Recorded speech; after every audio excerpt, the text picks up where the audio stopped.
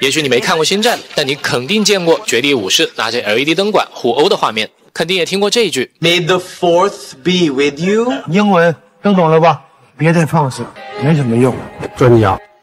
本期主题是八小时内设计出一个星战飞船载具，听着简单，做着难。我都怀疑这一集是不是乐高设计师搞不出星战新套装来找灵感的。长发老哥一脸娇羞的抽到了头号反派达斯维达，以他们平时的铁直男搭建风格，星战主题还抽到反派，真的是过年了。他们的船叫帝国风暴登陆舰，一艘运送风暴白冰的船，因此也吸引了现场巡逻的白冰前来围观。他们本来想用机翼立住船体，中间悬空，可惜的是没成功，最后还是肚子着地了。但问题不大。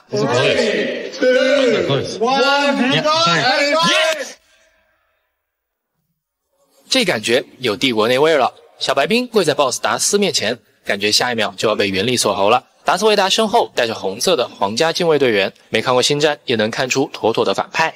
金发组他们抽到了正派卢克，眼镜小哥是星战的狂热粉丝。他们计划做卢克带着机器人同伴的双人战斗机。金发组的作品结合了星战中的雪地战机 XE、AE 的元素。这艘星际战斗机刚刚击中一架敌军的飞机，爆炸在他们的正前方。作为全场最小但也最精致的作品，评委直接指出了一个设定 bug。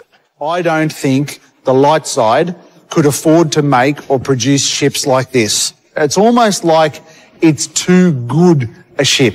Yes. 下一期，妹子们做的 Ray 的拾荒船太帅了，求官方出个套装吧。来，这期接着搞星战的飞船。姐姐组抽到的是正派 Ray，三部星战的女主角，最开始在沙漠中捡破烂生存，真就开局一双手，装备全靠捡呗。所以妹子们决定做一艘 Ray 的拾荒船。Ray 坐在驾驶舱里，为了生存在干燥荒凉的沙漠中捡垃圾谋生。和小机器人 BB 八一样配色的拾荒船拖着一台废弃的 AT-AT。身后还有一个白兵，试图阻止他们拖走 AT-AT，嗯，有点可爱。这三个层次的故事必须是全场最佳了。要说唯一的 bug，可能是瑞拾荒时期开这么豪华的船，是不是有点离谱了？不过贾库星有新建坟场，就像在迪拜一样，捡个破烂月入百万也是有可能的。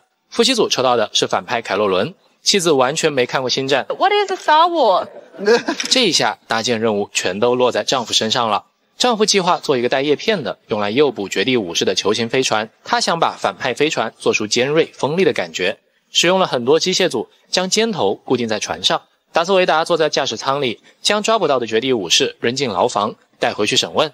夫妻组的船是全场最大的，评委将盖子拆下来，可以看到里面有很多复杂的机械组，但可惜的是，他们链接处用了蓝色的销，破坏了整体色彩的和谐。下一期冠军作品不愧是金砖组。竟然连船舱里面都做出来了。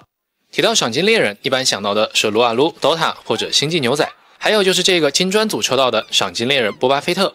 金砖组计划造一艘全副武装的赏金猎人飞船，作为场上唯一一个非正非邪的角色，也是最难做的，所以金砖组选择了暗红、灰色和绿色，组成了中立邪恶的象征。金砖组的老哥完全是在享受比赛。比起外观上的酷炫，他们将更多时间花在了设计可玩性上。不光做了武器系统，将飞船做成像饭盒一样的两层，船舱内部也都装修了一遍，就像真正的乐高套装一样。崇尚金钱、心狠手辣的赏金猎人波巴菲特驾驶着他的飞船，穿梭在银河系，搜寻着下一个目标。打开飞船，可以看到飞船的控制室以及监狱的牢房里关着的帝国军和起义军。从技术角度看，这艘飞船各个方向都有向上的凸点。这是其他组的飞船没法比的。估计评委看到这个作品的时候，冠军就已经有答案了。